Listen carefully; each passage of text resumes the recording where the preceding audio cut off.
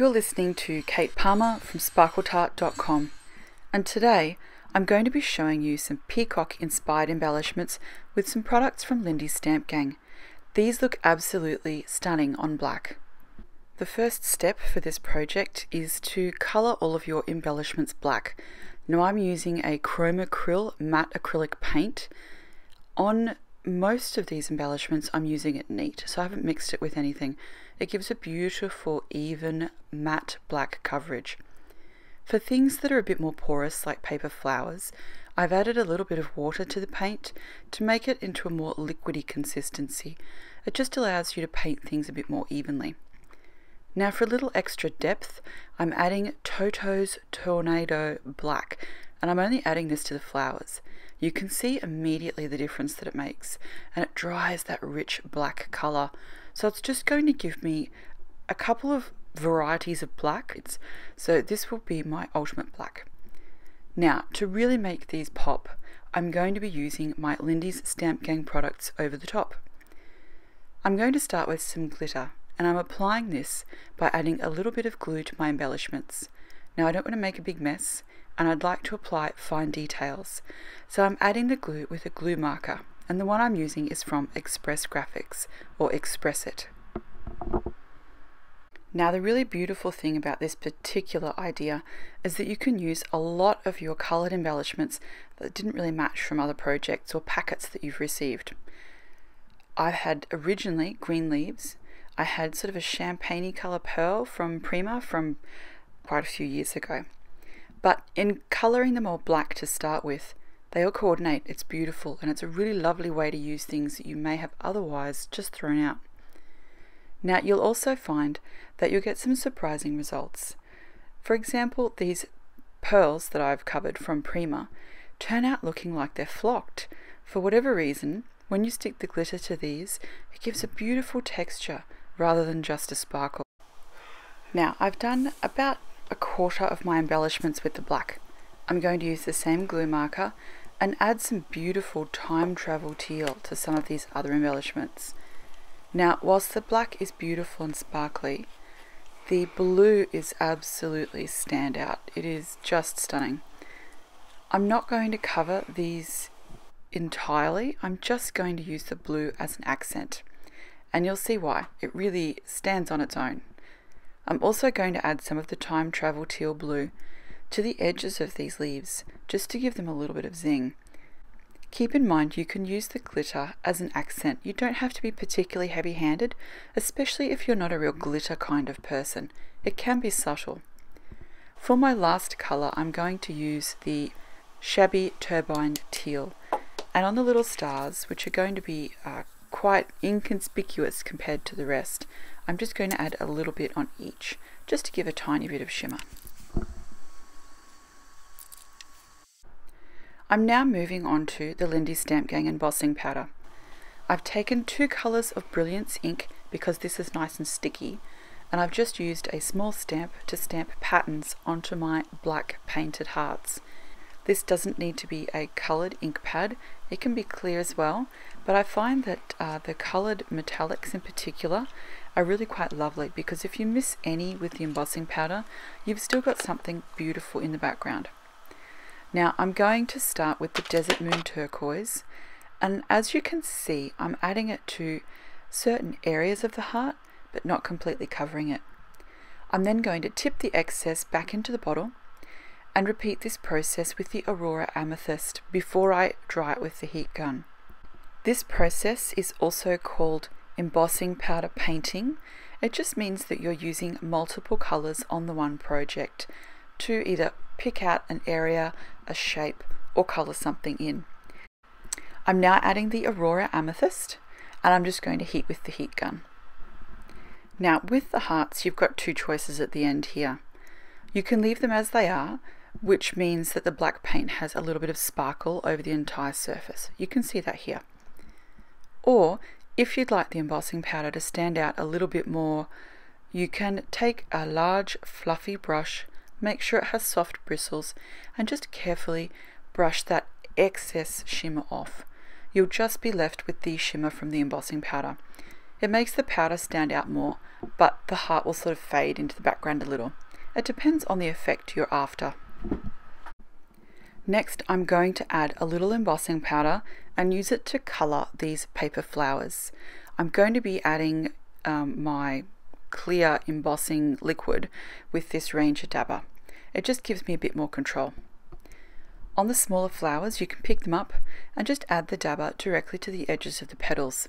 This will give a very subtle shimmer edge to the flowers without being too overpowering. On the larger flowers, I'm going to and coat as much as I can of each of the edges of the petals with the dabber. For the smaller flowers, it's possible to just pick them up with a pair of tweezers and dip them directly into the embossing powder.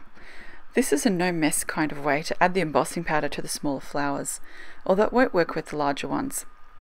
To add the embossing powder to the larger flowers, what I've done is tip a little pile of embossing powder onto some cardstock or paper and then roll the embossed edges of the flowers into the embossing powder. Gently shake them off and then tip the excess back into the jar. You want to try and be as tidy and clean with this as you can, or else you'll end up with embossing powder bits everywhere. You'll want to repeat this same process with a few different colours of embossing powder to repeat that peacock feather effect.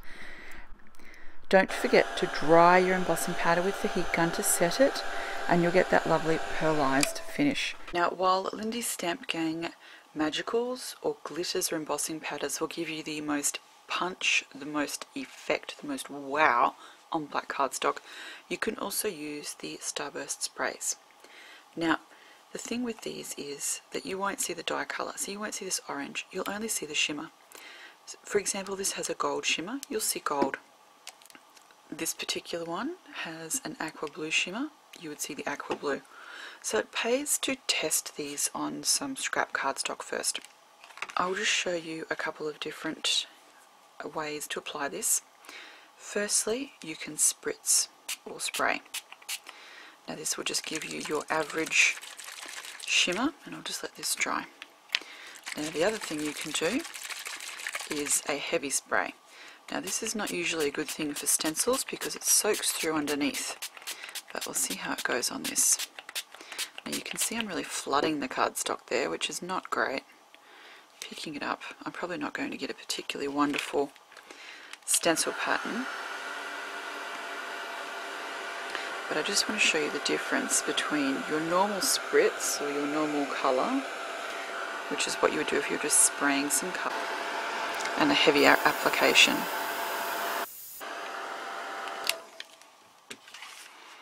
So this is the initial spritz that I did, the initial spray. Just a single pump in each section. You can see you get this beautiful shimmer. Next is the stencil where I've made a much heavier application. If I put these two together, you can see the difference. So one is very light. This is much bolder, much more stunning. Now you can even get a heavier application by swirling and just flicking the colour off the end of the little stalk that's in your bottle.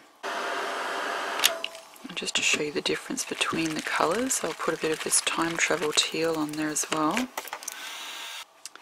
And you can see how stunning that looks. Now imagine that on a scrapbook background in a few different colours, just sort of flicked on there. It's reminds me of galaxies and starry night skies for some reason. Really, really pretty.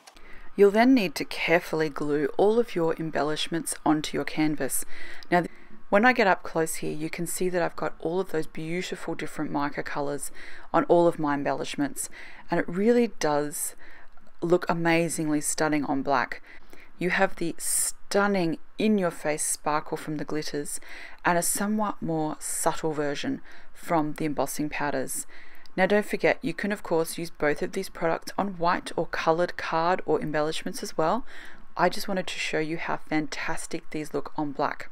A lot of people don't think to use them that way. Now as I get close, you can really see the sparkle here. And I love the way I've achieved those peacock tones from the Lindy Stamp Gang coordinating products. Now that they're coordinating micas, magicals, sprays, glitters, There really is a world of possibilities. There's no reason you can't make, or colour at least, all of your own embellishments if you wanted to. But the thing I like the most is it makes the embellishments that you already own so much more versatile because you can recolor them, coordinate them, change how they look, just with the addition of a couple of extra products. And as you can see here, it really was so simple and relatively quick. I think the painting took longer than everything else. So I hope you've enjoyed watching this. I sure enjoyed making this canvas. It was something that was a bit out of my comfort zone, but uh, really, really fun. And I felt that the black painting added a really interesting element to my Lindy Stamp Gang. I hope this has given you a few ideas about other ways you can use your products from Lindy Stamp Gang. Don't forget you can use them over dark colours and black and they look equally as stunning as they do over whites. I'll be back with more soon and hope you guys have a fantastic week.